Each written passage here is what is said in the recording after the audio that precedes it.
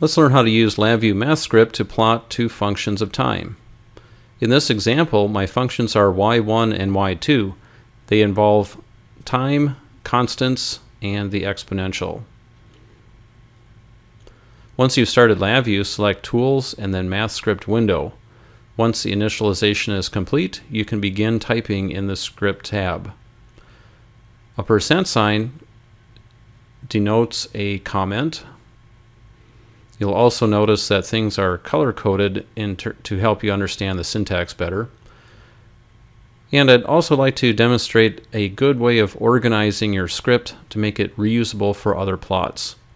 So I begin by entering in all of my constants at the beginning. A semicolon suppresses the output from printing in the command window when you run the script. To create my time axis, I'm defining the maximum time as 5 milliseconds the number of points to plot as 500. You could probably get by with less, but the idea is that you can set this up to be variable and just adjust it as needed. So I'll create my time axis as initially a vector that runs between 0 and 1, where we have 500 points spanning that range between 0 and 1. And so this syntax that I'm typing defines that. When I multiply by my maximum time, then my time vector becomes an array of values that run between 0 and tmax.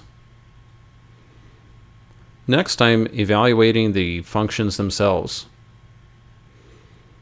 It's pretty much a direct translation of the math, that is asterisk for times, forward slash for divide, exp for the exponential and so forth. Did a quick little copy and paste there, making it a little bit easier to create the second function. And I need to multiply this exponential by time. So you notice I'm using period asterisk. This is the so-called array style multiplication. It's important not to forget that.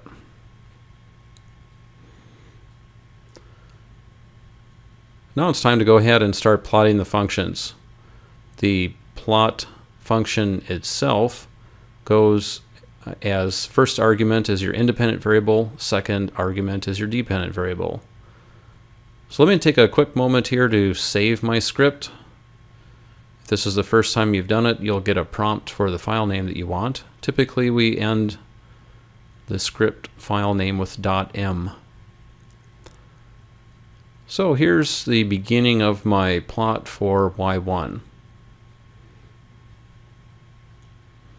To plot multiple graphs or multiple traces on the same plot, we say hold status is now on and then invoke another plot function for y2.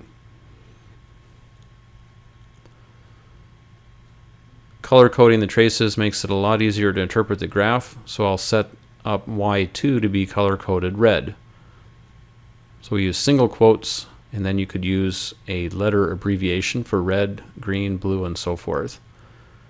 Let me turn the hold status off and then enter some additional lines that get the axes labeled and we can also attach a plot caption.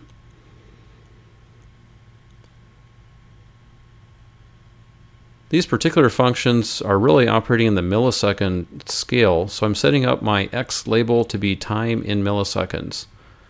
I can then adjust my plot functions to multiply the time vector by 1000.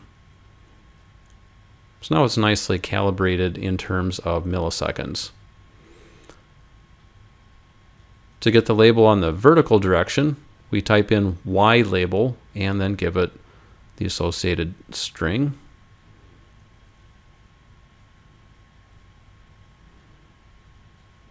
And we can also use title to attach a label up on top.